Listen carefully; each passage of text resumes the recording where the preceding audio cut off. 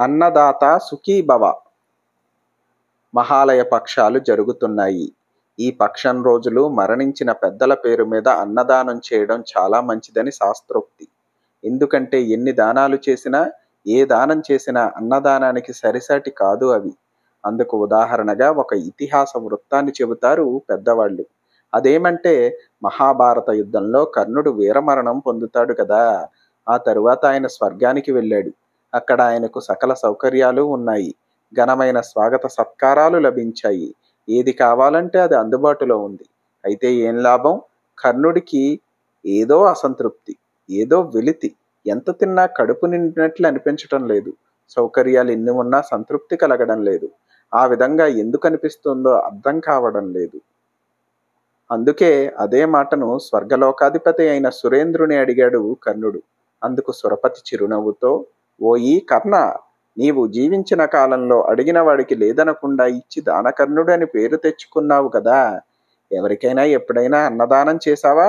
ఒకసారి గుర్తు తెచ్చుకో అన్నాడు. ఆ మాటకు ఆశ్చర్యపోయిన కర్ణుడు అన్నదానం గురించి గుర్తు తెచ్చుకుందామని ఎంత ప్రయత్నించినా గుర్తు రాలేదు.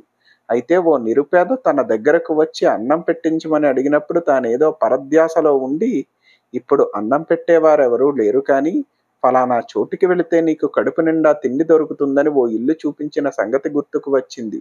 అదే ఇంద్రుడికి చెప్పాడు. ఆ మాటకు ఆనందించిన దేవేంద్రుడు అలా అయితే నీవు అన్నదానం దొరుకుతుందని చెప్పిన ఇంటిని చూపించిన వేలిని నోట్లో పెట్టుకో అని చెప్పాడు.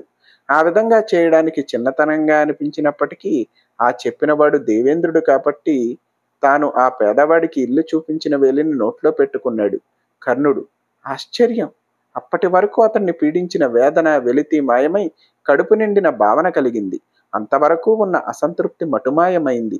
ఇప్పుడు అర్థమైంది కదా అన్నం పరబ్రహ్మ స్వరూపమని ఎందుకంటారో? ఆకలి అని పొట్ట చేత పట్టుకుని ఇంటి ముందుకొచ్చిన అన్నార్థులకు కుల మత లింగ ప్రాంతీయ భేషభాదాలు భాషాభేదాలు లేకుండా అడిగినవాడు తన శత్రువా మిత్రుడా అని కూడా ఆలోచించకుండా అన్నం పెట్టాలని. ఎందుకంటే ఏది దానంగా ఇచ్చినా ఎంత ఇచ్చినా కూడా దాన గ్రహీతకు మరికొంత ఇస్తే బాగుండుననిపిస్తుంది లేదా మరేదో కావాలనిపిస్తుంది. అయితే ఆప్యాయంగా అన్నం పెట్టినప్పుడు మాత్రం తిన్నవాళ్ళు కడుపు నిండింది ఇంకా చాలు అని చెప్పి సంతృప్తిగా లేస్తారు.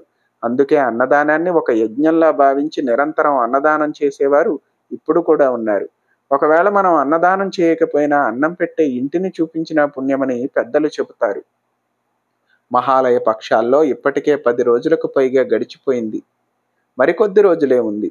ఈ కొద్ది రోజుల్లో అయినా సరే మన నమ్మకాలు విశ్వాసాలు పూజ పునస్కారాలతో పని లేకుండా ఆకలితో ఉన్న వారికి అన్నం పెడితే వారికి కడుపు మనకు గుండె నిండుతాయి.